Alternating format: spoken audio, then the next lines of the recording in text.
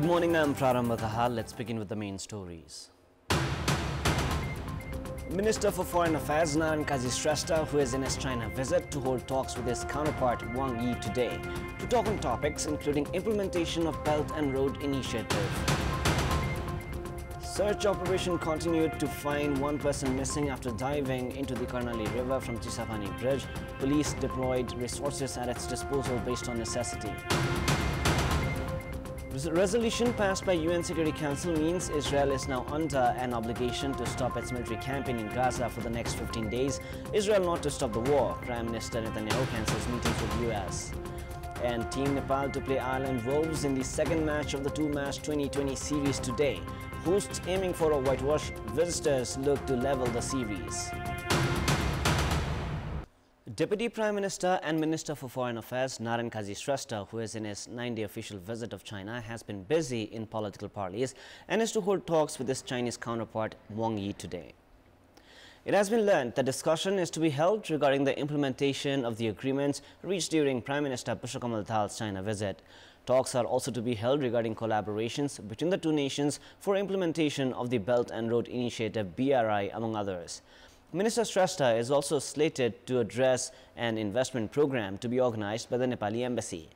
Having reached Beijing yesterday morning, Minister Shrestha held talks with CPPCC chairperson Wang Huning and members of the Standing Committee of the Chinese Communist Party Political Bureau. Shrestha will also visit Chongqing, Tibet and Sichuan provinces and meet high-ranking Chinese officials and communist leaders. Search operation for a youth missing after diving from the Chisapani bridge in Karnali has continued. 17 youth swam in the river after diving from the bridge yesterday. Of them, 30-year-old Lokendra Shahi of Lamki Chuha municipality, ward number 3 Chisapani, Kailali has gone missing. The youth who had told police personnel deployed at the bridge that they would return after taking some photographs had dived into the river one after another. Shahi, who has gone missing, had been operating his business in Belauri municipality, ward number 1, Baisakhi of Kanchanpur. Police has said the search operation had resumed earlier this morning. More than 1 million families have been facing the brunt as the government has politicized the problems of the landless squatters. The trend of formulating commissions to address the problems of the landless squatters and scrapping them in cases of no political benefits has continued unabated. Now, following the change in the ruling coalition, the National Land Commission formed two and a half years ago has been scrapped. The government has also begun preparations to form a new commission. But there is no clear basis for the new commission to address the problems. Providing land to the landless is a technical issue and can be addressed by those with expertise in this regard. Doing so will not require forming and scrapping commissions with changes in the government. However, the government leadership has been prioritizing recruitment of the cadres and creating vote banks instead of addressing the problems of the landless squatters. The National Land Commission formed two and a half years ago during the government led by Pushpakamal Dahal for addressing problems of the landless squatters has been scrapped before completing its responsibility and expiry of its term. The government has already formed 16 commissions to address the problems of landless in the past 33 years. The 16th commission has also been scrapped while the government is making preparations to form the 17th commission. Despite the formation of these many commissions, problems of the landless squatters have remained intact. The government does not even have data on the number of landless citizens. Of the 16 commissions, data show that seven of them had provided land to 160,000 landless squatters. However, even those land have been disputed. Meanwhile, other commissions failed to fulfill their responsibilities and were not provided adequate time to perform. Billions of rupees have been spent by the 16 commissions in the span of 33 years. The commission formed four years ago had collected data of 1,180,761, while the recent commission has the data of 1,038,159 families. But with the scrapping of the commission, the data is at the risk of being unused. With billions being spent in decades, problems of the landless remaining the same is a reflection of how the government leadership has politicized the issue to recruit its cadres and create its vote banks.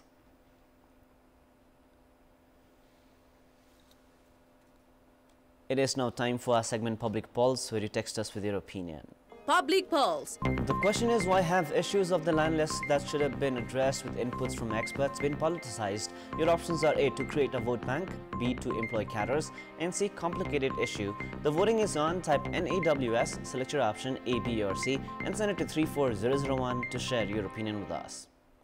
The federal parliament has failed to operate because of the clash between the government and the opposition. However, neither the government nor the opposition have paid any interest towards the parliamentary proceedings.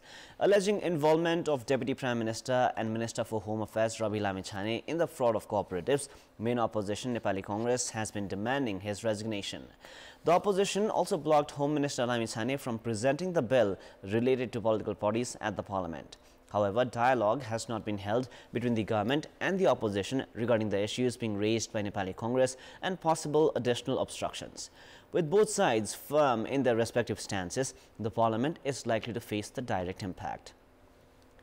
Avoiding the parliamentary obstructions, Speaker of the House of Representatives Devraj Ghimire is outside of the country.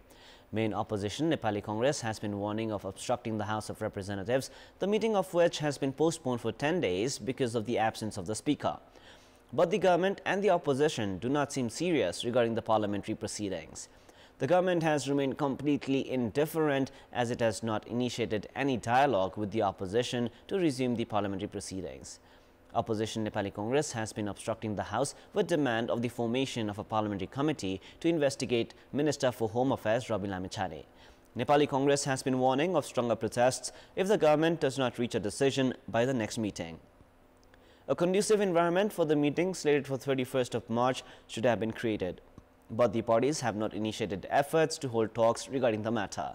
Change in the ruling coalition has also been reflected in the stance of the parties, because of which an environment for talks on certain issues have remained elusive. Despite the ongoing session being the session for formulation of laws, topics related to coalition and political equations have found more priority.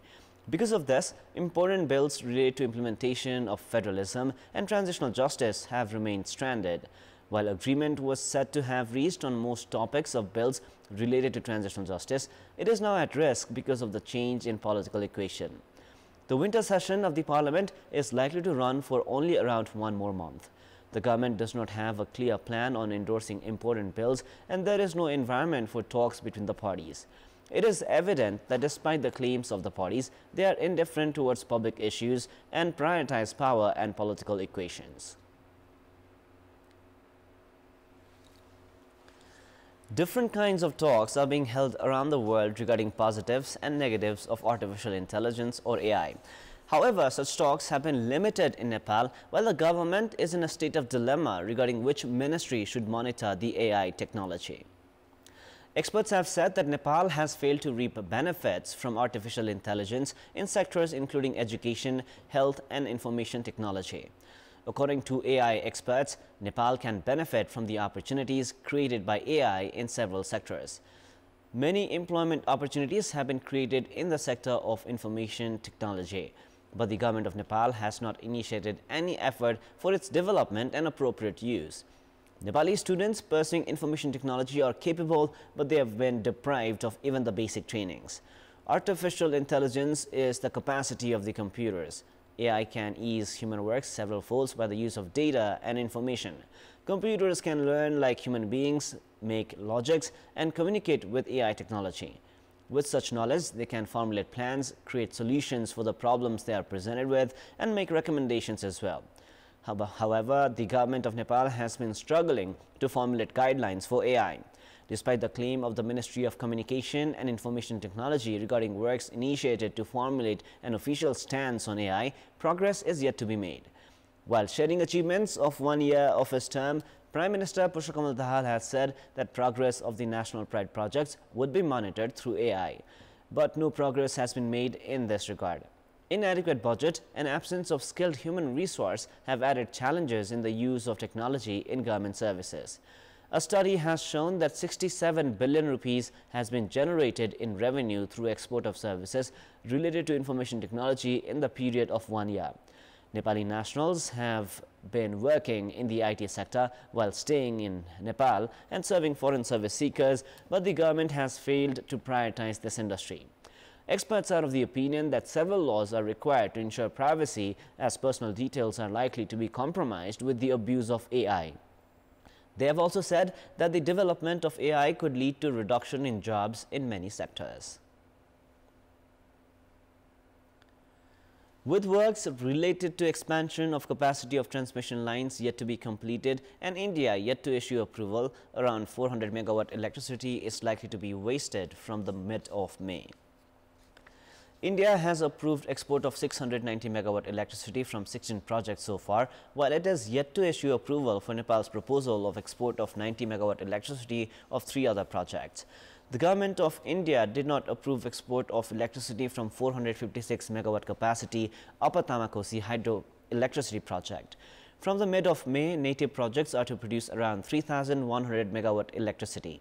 But the Nepal Electricity Authority NEA has projected the domestic demand to stand at only around 2000 megawatt. The authority has said that around 400 megawatt electricity is likely to be wasted. It has added that works related to export are facing complications because of failure in completing expansion of capacity of domestic transmission line. Works of Hetauda Dhalkebar transmission line has also failed to move forward because of problems related to compensation. With capacity enhancement from Dhalkebar to Batlaya also yet to be completed, the NEA has said that problems are to surface in export of around 700 megawatt electricity this year. And now before we wrap up, here's a look into the top stories one more time. Minister for Foreign Affairs Narayan Kaji Shrestha, who is in his China visit to hold talks with his Chinese counterpart Wang Yi today to talk on topics including implementation of Belt and Road Initiative. Search operation continues to find one person who's gone missing after diving into the Karnali River from Chisapani Bridge. Police to deploy resources at its disposal based on requirement. Resolution passed by UN Security Council means Israel is now under an obligation to stop its military campaign in Gaza for the next 15 days. Israel not to stop the war, Prime Minister Netanyahu cancels meetings in US. And Team Nepal to play Ireland Wolves in the second match of the two-match 2020 series today. Hosts aiming for a whitewash. Visitors look to level the series. That is all for the moment. Our next English bulletin airs at 6 p.m. Thank you for staying with us. Have a beautiful day ahead.